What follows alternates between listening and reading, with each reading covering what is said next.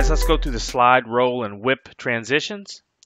Okay, the first one we're going to do is the slide, the simple slide. The nice thing about DaVinci Resolve is it comes with a, a video transition called push that essentially does that. So once you line up your clips, you're going to want to drag this over and uh, insert it in between the clips. And then once you go into the inspector tab, sorry, the duration, I usually set it for say 8 to 10 frames. Um, and then in this case, we're pushing up, so you can obviously do any direction.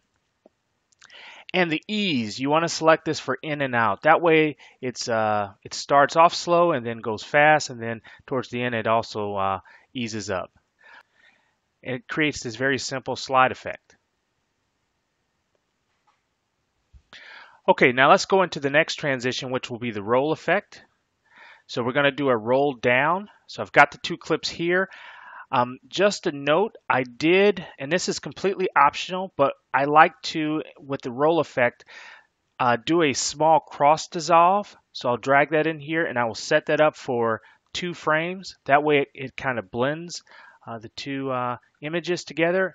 That's really optional. It's kind of up to you, but uh, it works very well for me. Uh, you may find that it gets dark at the transition if you don't have that in there, or it may actually go blank. So just to watch out, uh, I would highly recommend that you put that in there. Okay. Outside of that, all the other transitions are are built in the color tab. So let's go there. So it's real simple. You only need you do need Sapphire plugin, and you only need uh, two of the plugins. So the first one you're going to get is the S Swish 3D. And let's first go through, because of the keyframes that you'll need to set, but before you set your keyframes, let's first go through and talk through the default settings you'll need to adjust. So the first default setting that you want to adjust will be the fade. It comes in at from, from and to, and you want to select that or set that to only from. The next default effect you want to adjust is wrap.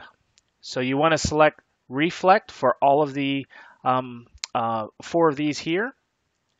And then once you have that set, you will want to start recording your keyframes. So it's best to set that at the beginning. That way you don't have to adjust it for each of your keyframes. So I recommend that you start here at the edge. So we'll, we'll cursor over to the edge of the clip. And the first thing we're going to want to set for the edge as we're rolling down off of the first clip is wipe amount. So we'll set that to 1 here at the top, and then we will set the shift Y to negative 3. The nice thing about this, this uh, transition Swish 3D is once we set the shift, we don't have to adjust that, we just adjust the wipe value. So we set this at minus 3 here at the edge of the uh, clip, and we're going to cursor over four keyframes and at that point, we're going to reduce the wipe amount to 0.76. You're going to continue on eight additional keyframes, drop that to 0.2, and then two, three, four, five, six, 12 additional keyframes, and then you're going to set that to zero. Okay, so the entire length, this one's at the 24th keyframe, uh, this one's at the 4th, uh, the 12th, and the 24th. Okay? So that's it for the, the rolling effect. Now what I did add here was a little blur. Um, this is completely optional. But what I do is I use blur motion. And the default settings you're going to want to select here or adjust here is the Z distance, the 2Z distance. It comes in at a default of 0.8 and you want to set that to 1. Otherwise, you'll have a zoom type of effect uh, for the blur. So set that to 1.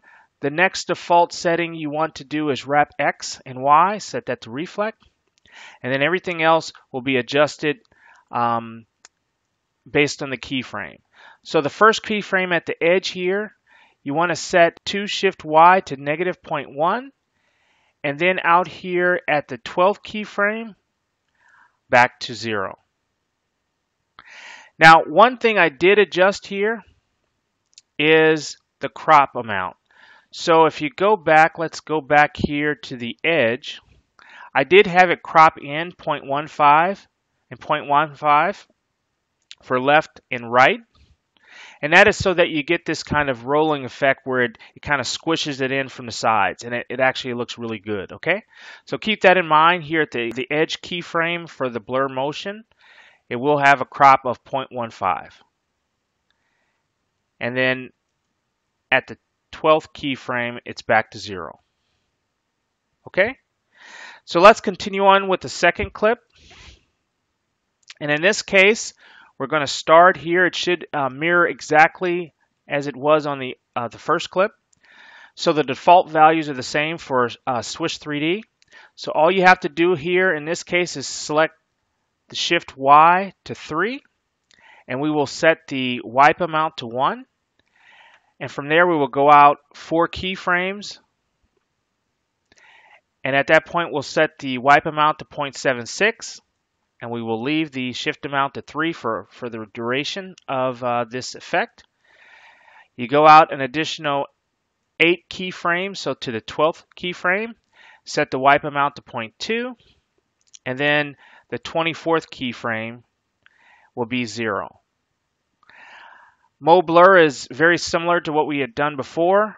Uh, in this case here at the edge, you want to set the from shift Y to 0.1 and again, the default value of 2z distance is 0.8, so make sure to rem uh, remind yourself of the uh, default settings I, I mentioned uh, at the other clip. Those do apply here. The crop effect, we're going to do the same thing. 0.15 for both left and right.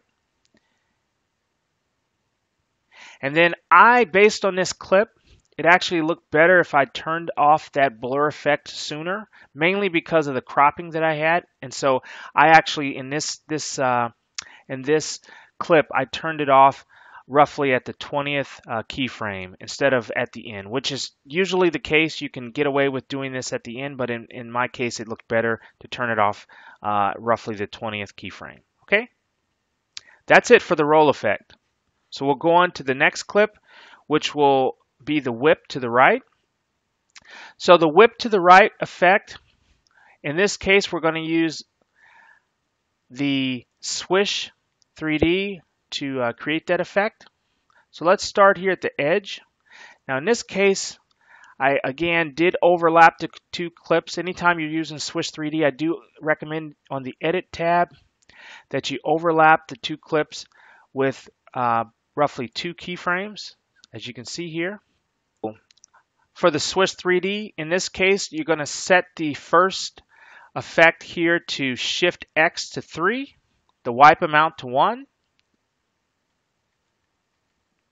Go out 8 keyframes, wipe amount to 0.184. Shift is still at 3. Go out an additional 2, two keyframes, 0.082.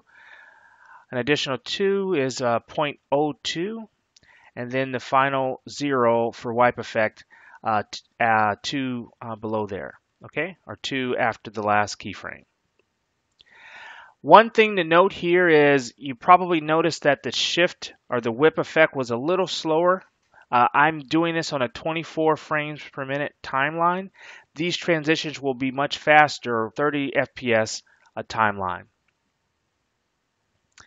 Okay, so let's go to Mo Blur.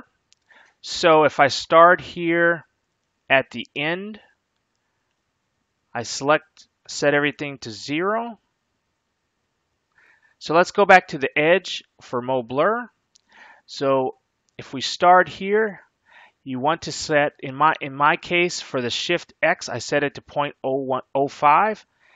This is completely customizable depending on how much blur you want to get.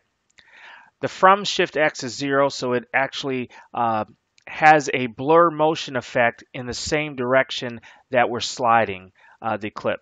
Okay, so that's the way you kind of adjust that. If you wanted it to go the other way, you'd either set this to uh, negative or make this say uh, 0.05 and make this zero, one or the other. And again, our default effects are still in, a, um, in place based on us using it pre previously. Go to the edge of your transition. And in this case, we just set that parameter of the shift back to zero. Okay? And the crop you also want to set back to zero. Okay, so let's go to the second half of this whip effect, the second clip. All right, so we will start here at the edge with the 3D, our Swish 3D effect. So the wipe amount here will be 1. The shift X will be minus 3.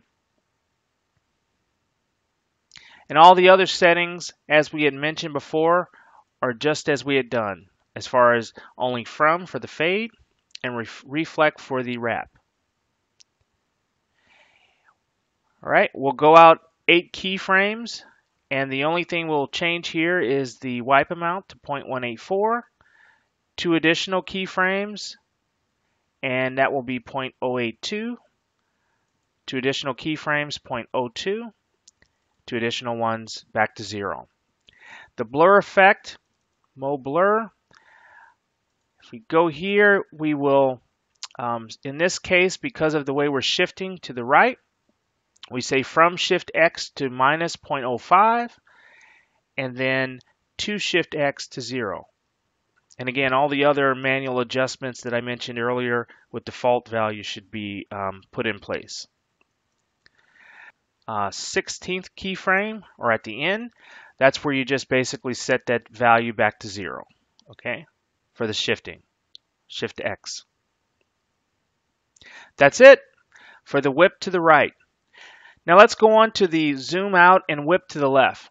So you, what I have done here is we're, we're using Mo curves to basically do the effect of us zooming out and then it's going to slide or shift or whip uh, to the left. Okay, so at the edge, what I've got here for Mo curves is Z distance at 1.5, shift X at minus 3, and then everything else, wrap X, wrap, wrap Y should be reflect. And then just about everything else is set to default. Okay, so we'll, we'll we, from this point forward, we will only adjust the Z distance and the Shift X. So from this point, you move out two keyframes and you adjust the Shift X to minus 1.5. We'll go out four additional keyframes, and here we've adjusted the x to minus 0.03 as well as z distance to 1.35. Two additional keyframes, z distance 1.27 and the shift x to minus 0.02. Two additional keyframes, the shift x is back to zero, so we're no longer um, shifting or sliding. And the z distance is 1.21. Go out an additional four keyframes, we'll drop that to 1.09. Four additional keyframes, 1.03 for uh, two additional keyframes, 1.02, and then two additional keyframes to zero. So basically, this this at the beginning it allows us to zoom slowly out, and as it's zooming, it starts to um, to slide or whip to the left, and then it accelerates the uh, whipping effect as it transitions to the next clip. Now, as far as Mo Blur, if we go to the edge here, we're going to do a very similar effect here. In this case, I added a little more blur. So I set the Shift X to minus 0.1. Everything else is pretty much default with the exception of 2Z distance. As I mentioned, you need to set that to 1 uh, versus default as well as wrap, wrap X and wrap Y. At the 10th keyframe is where you're going to want to set that to 0 to turn it off. At least that's what I needed uh, for this effect. So let's go to the second clip. We'll start here with Mo curves uh, here at the edge. So we're going to start here with Shift X equal to 3. Go out two, um, two keyframes and you'll go to uh, Shift X to 1.5. Four additional keyframes, that will drop to 0.030. Two additional keyframes, 0.02, and then two additional keyframes back to zero. As far as blur, now as far as Mo blur, we will turn on the blur by uh, setting Shift X to 0.1. So that's from Shift X to 0.1. And then here at the end, we will set the Shift X back to zero to turn it off. And that's it. If you've got any questions, please leave a comment below. Otherwise, please like and subscribe and stay tuned for the next tutorial. Peace.